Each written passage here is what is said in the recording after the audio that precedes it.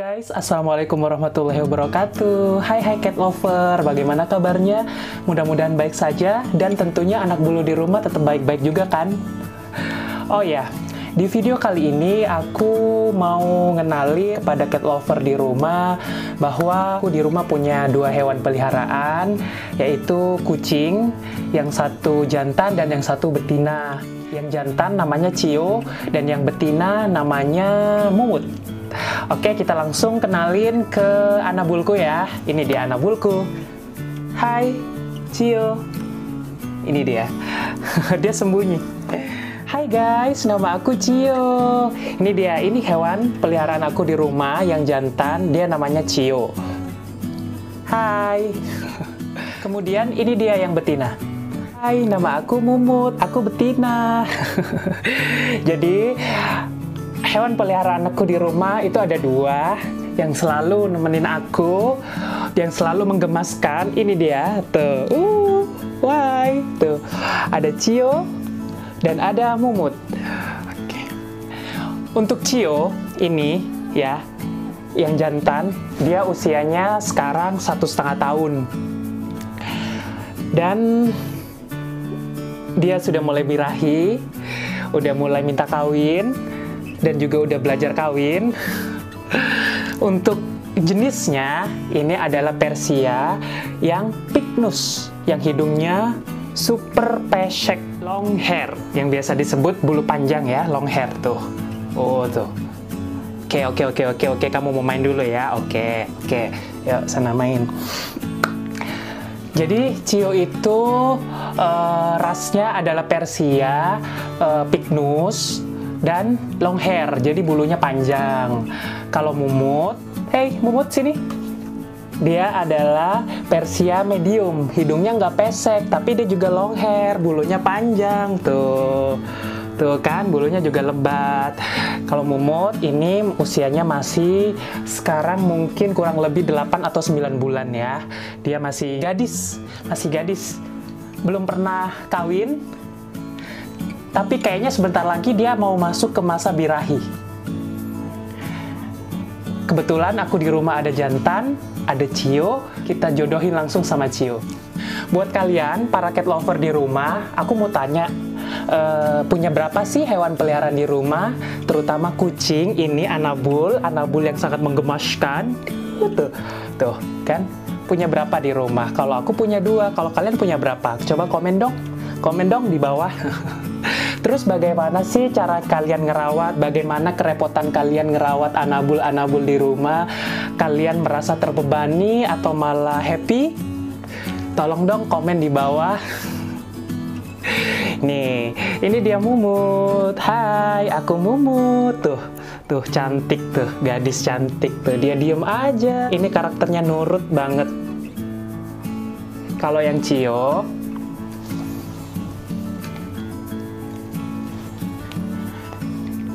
kalau Cio, dia agak sedikit nggak suka digendong, dia pasti gelisah berontak pengen turun. Tuh, tuh, tuh kan, nah, nah, tuh kan, tuh kan. Ya udah, udah, udah, oke, oke, oke, oke, oke. Oke, jadi aku pelihara Cio itu sejak Cio usia Hai, hai, nggak boleh berantem. Hei, hei, hei. berantem dia. Oke, kembali lagi. Cio, aku rawat itu sejak usia 4 bulan. Jadi 4 bulan sudah sama aku dan sekarang dia sudah usianya satu setengah tahun. Berarti kurang lebih satu tahun sudah bersama aku. Jadi aku sudah tahu, sudah kenal banget karakternya Cio, sudah tahu kebiasaannya dia, sudah tahu kelucuannya dia. Pokoknya aku sudah mengenali banget uh, karakternya si Cio. Tapi kalau si Mumut, Mumut di sini itu masih baru, kurang lebih ada mungkin tiga bulan yang lalu Mumut baru aku adopsi karena memang pas pada saat aku ngadopsi si Mumut itu dia Mumut baru usia 6 bulan. Jadi usia si Mumut itu 6 bulan aku adopsi dari ownernya yang lama. Sekarang Mumut sudah tinggal sama aku kurang lebih tiga bulan, berarti ya hampir 9 bulan ya berarti usia Mumut. Tadinya aku punya satu kucing si jantan ini Cio. Kemudian karena si Cio sudah uh, merasa dia mungkin kesepian di rumah, butuh kawan, butuh teman main. Karena memang sehari-hari aku kerja kan, jadi otomatis si Cio di rumah sendirian pasti dia butuh teman. Akhirnya aku memutuskan untuk uh, mencari anabul yang cocok dan aku bawa pulang, aku adopsi. Dapatlah si Mumut. Jadi Mumut sudah menjadi temannya Cio. Awal-awal mereka datang berantem lah itu sudah pasti. Namanya binatang masih belum pernah kenal, pasti berantem, adaptasi itu sudah pasti. Sekarang pun kadang-kadang nih kalau moodnya mereka sama-sama lagi nggak enak, bisa berantem. Padahal udah udah udah ketemu lama udah kumpul lama udah kadang-kadang satu kandang juga satu tempat makan kadang-kadang. Ya kadang-kadang kalau misalkan namanya hewan ya punya karakter yang berbeda yang satunya pendiam mumut ini karakternya pendiam dia uh, manja banget. Cio pun begitu. Cio ini karakternya manja tapi dia keluar ganasnya, keluar jahatnya, keluar sadisnya, keluar garangnya pada saat ada kucing lain. Maklumlah dia jantan, jadi mungkin dia lebih merasa dominan di rumah ini. Cuman aku sudah mengajarkan, aku sudah membiasakan mereka untuk tidak lagi berantem. Jadi awal-awal aku kurung, awal-awal penyesuaian, pas pada saat penyesuaian Mumut datang ke rumah, Cio itu aku kurung seharian Nanti keesokan harinya ganti si Mumut yang aku kurung seharian. Jadi begitu Mumut dikurung, si Cio mendekat.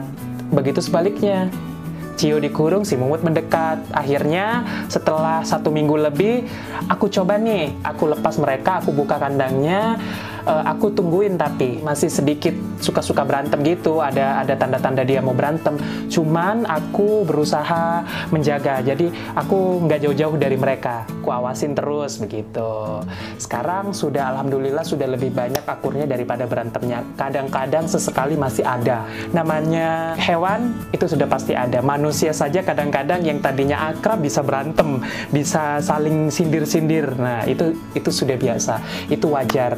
Itu sangat wajar apalagi hewan ya kan? Di video kali ini tujuanku aku cuman pengen ngenalin kepada kalian kepada cat lover yang di rumah bahwa aku juga punya hewan peliharaan di rumah dua kucing yang sangat menggemaskan si Mumut dan si Cio si betina dan si jantan yang sebentar lagi mereka akan menjadi suami istri mungkin dan mungkin mereka akan beranak pinak kalau misalkan sudah si Mumut sudah beranak, sudah berhasil hamil dan beranak, nanti aku akan sterilkan dia. Mungkin untuk Cio aku tidak akan ambil tindakan steril, biarkan dia tetap uh, menghasilkan. Karena memang Cio adalah bibit yang bagus, bulunya tebal, bulunya bagus, halus, hidungnya pesek matanya open.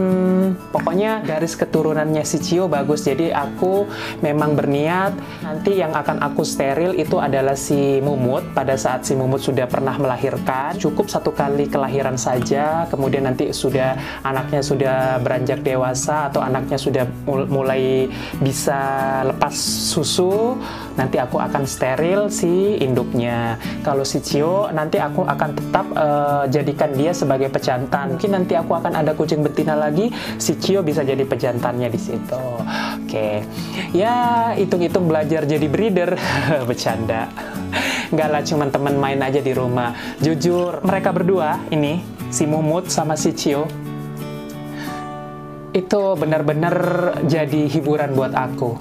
Pulang kerja lagi kondisi capek, buka pintu disambut sama mereka berdua gue sapa hai Momot hai Cio begitu dia nyamperin dia manja-manja meong meong meong ngikutin aku seenggaknya rasa penat rasa capek rasa bosan tadi di kantor uh, terhibur sama mereka berdua aku pernah baca artikel bahwa orang yang uh, penyayang binatang, dia mempunyai insting yang lebih kuat atau dia mempunyai jiwa yang lebih sabar. Itu benar atau tidak? Aku juga nggak tahu. Pokoknya aku pernah baca bahwa manusia pencipta binatang memiliki uh, karakter yang lebih sabar, memiliki hati yang lebih lembut, dan memiliki insting yang lebih kuat. Itu yang pernah aku baca. Entah itu benar atau tidak, I don't know. Oke, okay, mungkin video kali ini nggak terlalu panjang-panjang banget, nggak terlalu banyak-banyak banget, karena aku cuma pengen kenalin anak buluku di rumah. Jika kalian suka sama videoku yang ini, jangan lupa di subscribe, like, share, and comment. Di next video, nanti aku akan bikin tentang perkembangan si Mumut dan si Cio, serta kebiasaan mereka atau mereka sedang ngapain mungkin. Nanti aku akan bikin terus video tentang mereka ya. Makanya aku minta tolong sama kalian yang belum subscribe, subscribe dong supaya channel aku berkembang. Kalau memang kalian suka jangan lupa di like ya. Thank you for watching. Bye bye. Sampai ketemu di video berikutnya.